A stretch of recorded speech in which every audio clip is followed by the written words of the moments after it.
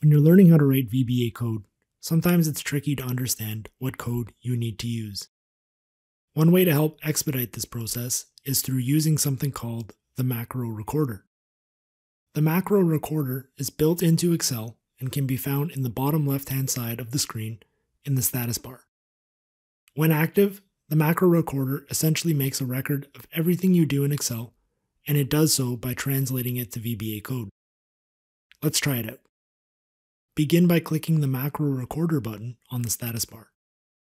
We see a prompt asking us for a macro name. In this example, let's just title the macro as macro recorder.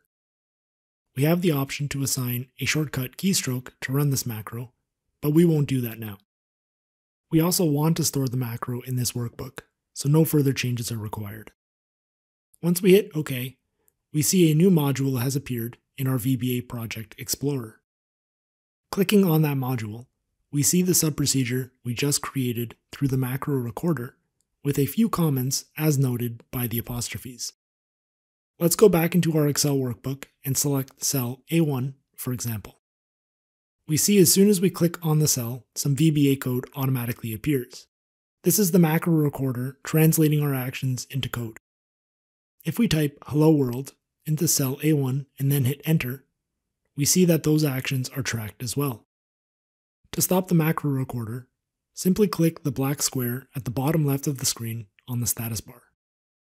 Let's clear the contents from cell A1 and then run the macro we just created. As expected, we see the desired result.